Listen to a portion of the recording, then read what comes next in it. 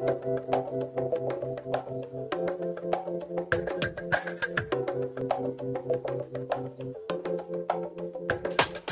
a tutti, eccoci qua come sempre per parlare di cinema e fare la recensione di un film che è eh, uscito da poco nelle sale, che va messo tra i film più attesi di gennaio, che è Il Primo Re, nuovo film di Matteo Rovere con Alessandro Borghi e Alessio Lapice. Ne parlo come sempre con Pierpaolo Bonelli. Ciao Pierpaolo.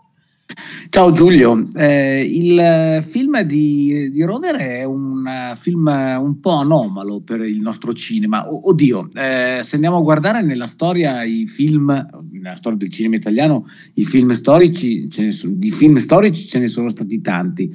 Questo però si inserisce in un modo decisamente diverso, molto originale e guardando probabilmente anche non solo al mercato italiano, ma a quello internazionale. Sì, eh, assolutamente. Diciamo che nel cinema italiano l'avevamo come tradizione, poi negli ultimi 30 anni abbiamo perso un po' questo, questo genere. Matteo Rovere, che secondo me è un produttore, un regista molto intelligente, ci ha provato perché ha avuto il, la fortuna di avere a disposizione un, un, budget molto grande, si parla di 8-9 milioni, che per lo standard italiano è veramente tanto, perché in realtà è una produzione internazionale, non è solo italiana, c'è anche di mezzo il Belgio e, e la Germania. Quindi ha avuto questa fortuna e secondo me ha sfruttato benissimo tutti questi soldi facendo un film um, non convenzionale, un film molto interessante, molto umano e affascinante. Voglio dire subito una cosa merito al, al film e poi ne parliamo nel dettaglio che come di sicuro saprete il film è in latino. Ora questa cosa del latino non vi deve scoraggiare perché i dialoghi in realtà sono molto serrati molto veloci e il latino è un latino molto primordiale molto semplice per cui non vi condiziona la visione del film oltre al fatto che ci sono i sottotitoli ma non fatevi spaventare da, da questa caratteristica eh, è in latino, anzi in proto-latino, proto-latino. Perché, perché, appunto noi nel film assistiamo alla nascita di Roma. Sì, uh, più che assistere alla nascita di Roma ci incamminiamo verso quel, quel momento, perché Romolo e Remolo in realtà erano... Uh, li definisco impropriamente barbari perché erano uh, due uomini, due fratelli che cercavano una, una dimora dove eh, dove stanziarsi. Il problema è che a quei tempi, stiamo parlando del um, VII-VIII secolo avanti Cristo, eh, ovviamente ogni, ogni, momento, ogni viaggio poteva, poteva, essere anche l'ultimo per i protagonisti e quindi loro eh, cercano di vivere alla giornata, cercano di creare un piccolo eh, esercito eh, per appunto cercare di trovare quella, chiamiamo così, terra promessa dove potersi eh, insidiare. Il film sì, eh, lo si può definire come il film che racconta la genesi di, di, Roma, ma in realtà è quello ancora più interessante, è un film su due fratelli, che è la caratteristica che viene meglio, de, del, viene meglio fuori del, dal film, oltre al fatto che c'è una ricostruzione storica e proprio di atmosfera molto molto affascinante.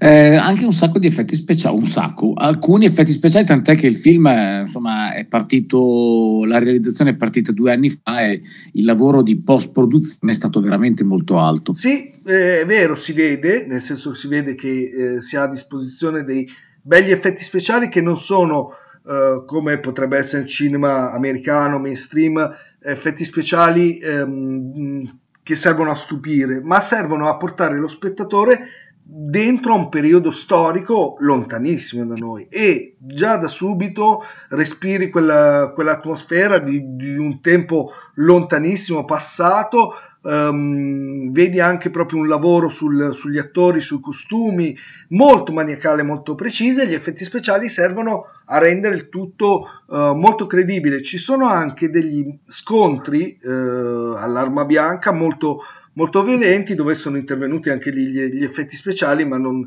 non, si vedono. Diciamo che è una produzione, ripeto, di Matteo Rovere molto ambiziosa, eh, però molto, molto bella. Eh, due attori giovani, ma mm, soprattutto uno, insomma, decisamente su, su, sulla cresta. Eh, stiamo parlando di Alessandro Borghi, visto recentemente in Sulla mia pelle, e eh, di Alessio Lapice, che invece è un volto magari meno conosciuto, ma chi segue, che ne so, Gomorra, esatto. magari l'aveva già l'ha individuato. Ecco. Sì, loro due funzionano molto bene. Di Alessandro Borghi, eh, cosa possiamo dire di più di quello che abbiamo detto in passato? Che è un attore che ha avuto negli ultimi tre anni una crescita esponenziale incredibile e tutto quello che fa eh, all'80-90% è un buon, ottimo film. Quindi di lui ehm, avevamo la certezza, anche se confrontarsi appunto con un film storico lon- di un passato remoto è anche quello difficile. Lui ce la fa benissimo. Altrettanto parlo, voglio parlare bene di Alessio Lapice, che in realtà all'inizio del film fa un po' da, da spalla, ma nella seconda, perta, nella seconda parte del, del, film, che dura quasi poco più di, di due ore, Uh, incomincia a uscire fuori e gioca molto bene il, il ruolo di, di, Romolo, mentre Alessandro Borghi è Remo.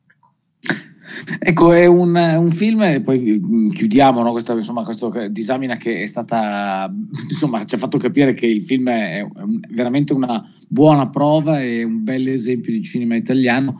Beh, eh, dicevo, è un, un, film che mescola anche un, um, violenza e avventura. Sì, assolutamente. Violenza e avventura sono due elementi importanti del, uh, del film, a parte come un film di, di, avventura in realtà. Poi quando uh, Romolo e Remo trovano un, quello che potrebbe un, essere il loro rifugio, il loro uh, primo posto dove mettere così un, il mattone, eh, anzi costruire le, le prime capanne di, di, Roma, ecco lì invece cambia completamente il, il, tono del film e diventa un film molto violento, molto di uh, rivalità. Oltre al fatto che um, oltre ai personaggi principali, in realtà c'è tutto un contesto di eh, personaggi secondari che riproducono perfettamente il concetto di, eh, di, mito, di personaggi mitologici, sia della tradizione latina ma anche eh, quella greca. Ad esempio c'è un, um, un indovino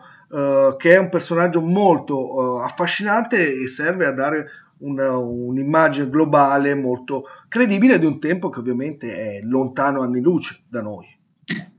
Matteo Rovere ha firmato Il primo re che è al cinema in questi giorni, Alessandro Borghi Alessio Lapice i due protagonisti, a Cine TV Landia sembra che sia piaciuto veramente. Sì, andatela a vedere, sosteniamo il cinema italiano perché un film del genere merita assolutamente di essere visto. Per questa recensione è tutto, grazie per Paolo, ciao a tutti, mi raccomando iscrivetevi al canale YouTube di Cine TV Landia.